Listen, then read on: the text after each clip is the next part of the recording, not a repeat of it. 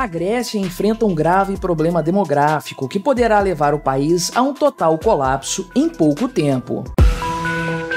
Este é o Visão Libertária, sua fonte de informações descentralizadas e distribuídas. Ajude a propagar as ideias da liberdade, deixe o seu like e compartilhe este vídeo com os seus amigos. Quando falamos de problemas relacionados a crises demográficas e possíveis colapsos populacionais, logo nos vem à mente a imagem de países como Japão, Coreia do Norte e mais recentemente a China. Nós inclusive já tratamos de vários desses casos aqui no canal em vídeos anteriores. Contudo, há um país que que vem superando com folga todos esses exemplos mais conhecidos, se tornando sem dúvidas o maior candidato a sofrer um colapso demográfico na atualidade. Estamos falando, é claro, da Grécia, um caso tão esdrúxulo que até mesmo Elon Musk repercutiu essa história em seu perfil no X. Por algum motivo, a pequena nação europeia, berço da civilização ocidental e da democracia, costuma passar despercebida na maior parte do debate público. Contudo, a verdade é que a Grécia é um país cheio de peculiaridades. Aliás, você sabia que o próprio Dom Pedro I foi convidado para ser rei da Grécia, mais ou menos na época da independência do Brasil? Pois é. De fato, a Grécia costuma ficar nos rodapés das notícias durante a maior parte do tempo, até que, pegando todos de surpresa, algo de muito grave acontece por lá. Há pouco mais de uma década, a Grécia ocupou os noticiários por conta de sua grave crise financeira, que ameaçava inclusive tragar toda a União Europeia para sua espiral da morte. O mais curioso é que ninguém parecia dar muita atenção às questões fiscais gregas até que o castelo de cartas simplesmente desabou. Inclusive, quando o assunto é dívida pública insustentável, sempre pensamos no Japão, com sua dívida equivalente a 225% do seu PIB. Contudo, nós sempre nos esquecemos do segundo colocado, ela própria, a Grécia, com 205% de relação dívida versus PIB. Porém, voltando às questões demográficas, a verdade é que a população grega está diminuindo de forma constante ano após ano desde 2006. De lá para cá, a população grega encolheu em um milhão de pessoas, e isso porque estamos falando de um país que tem apenas 10 milhões de habitantes. Sim, esse é o tamanho do problema. A Grécia está definhando a olhos vistos. Mas afinal de contas, o que está acontecendo por lá? O que tem levado a nação grega para esse buraco? O principal fator é aquele mesmo que tem castigado outros países ao redor do mundo, a queda nas taxas de natalidade. Na verdade, a taxa observada em 2022 foi a menor no país em 92 anos. A taxa de fecundidade, ou seja, a quantidade de filhos por mulher, desabou de 2,4 nos anos 1970 para menos de 1,4 na atualidade. Para ser sustentável, essa taxa precisa ser de pelo menos 2,1 filhos por mulher. Contudo, a Grécia tem um segundo fator que ajuda a piorar o que já estava ruim, sua crescente taxa de mortalidade. É até estranho falar dessa questão a respeito de um país desenvolvido. Contudo, o fato é que desde a crise de 2010, e nós já vamos abordar esse tema, a taxa de mortalidade vem subindo na Grécia. Só que a partir de 2020 a coisa disparou. O que terá causado esse problema? Qual evento em escala global teve início naquele ano? Bem, eu não sei, deixo para você tecer suas próprias hipóteses. O que se sabe contudo, é que têm sido relatados aumentos de casos de insuficiência cardíaca, AVC, coágulos sanguíneos e câncer, inclusive em indivíduos jovens. Ou seja, a mortalidade está atingindo em cheio a parcela mais produtiva da sociedade, o que torna o problema demográfico ainda pior. Só que, sem dúvidas, a questão econômica tem que ser colocada nessa equação, pelo menos como um terceiro fator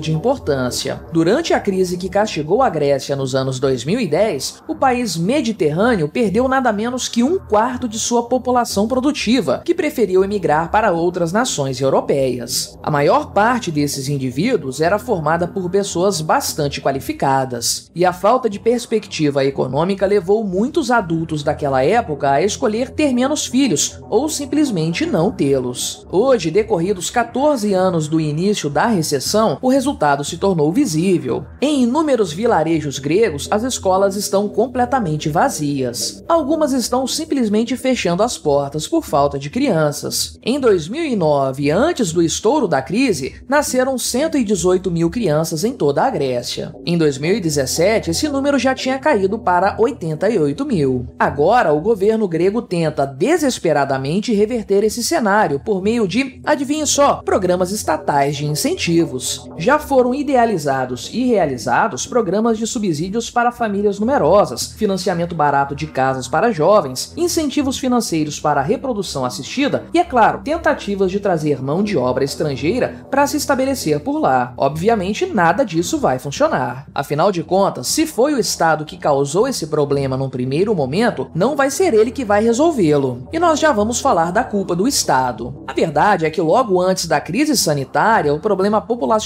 grego era bastante evidente. Em 2020, o governo tentou conter a queda nas taxas de fecundidade por meio de subsídios, fornecendo um abono de 2 mil euros para os pais de cada criança nascida no país a partir daquele momento. Naquela época, já se previa inclusive que 36% da população grega seria idosa em 2050, caso o cenário não fosse revertido. Como os números nos mostram, de lá para cá a coisa só piorou. E nem mesmo os imigrantes querem viver na Grécia. Quando os refugiados da África e do Oriente Médio começaram a inundar a Europa, a Grécia foi uma das principais portas de entrada para o velho continente. Só que praticamente ninguém ficou por ali. Os imigrantes passaram direto para outras nações da Europa Central. Ao que tudo indica, todo mundo já sabia que a Grécia não tinha mesmo futuro. E o Estado é de fato o grande responsável por essa situação. A verdade é que uma dívida pública crescente sempre se converte em desastre populacional,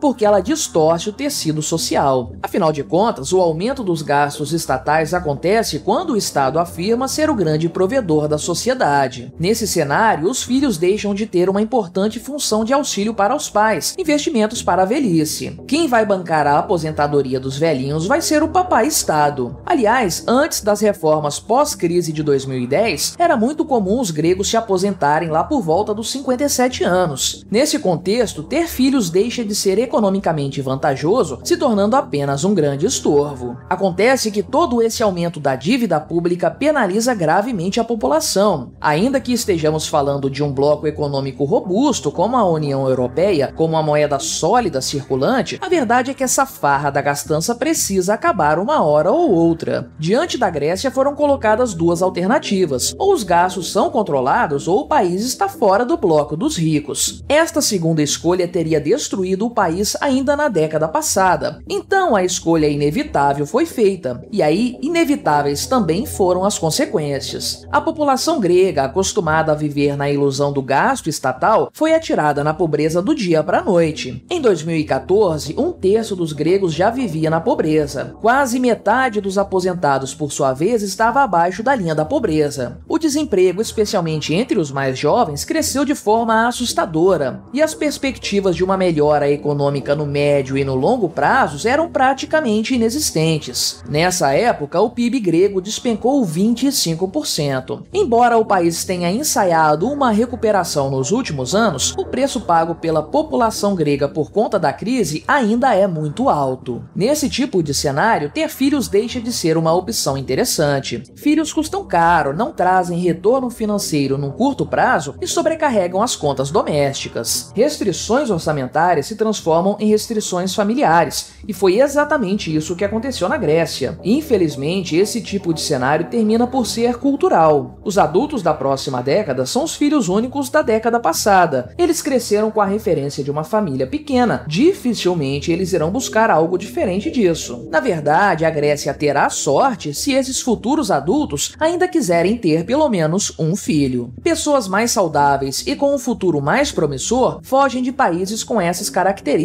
buscando oportunidades melhores em outras partes do mundo. Na Grécia, portanto, ficaram os menos qualificados e menos dispostos a correr atrás de uma vida no exterior. O país ficou sem perspectivas, e não são subsídios estatais bancados com dinheiro impresso do nada que vão reverter esse cenário. Quando Elon Musk e outros afirmam que a Grécia caminha sim para um colapso populacional, eles não estão brincando. A coisa é realmente séria e um colapso futuro é absolutamente plenamente factível. As circunstâncias que levam ao atual cenário grego, portanto, devem ser colocadas na conta do Estado. A crise econômica provocada pelo governo grego expulsou pessoas qualificadas do país, reduziu as famílias e destruiu a riqueza do povo. Uma década depois, medidas arbitrárias de controle sanitário podem, talvez, ser culpadas pela alta nas taxas de mortalidade do país. Essas consequências não esperadas da ação estatal levam a Grécia definitivamente para o fundo do poço demográfico. E de lá, o berço da civilização ocidental só poderá sair se o Estado não atrapalhar. Se houver uma solução para a Grécia, esta passa pela liberdade e não pela ação do Estado.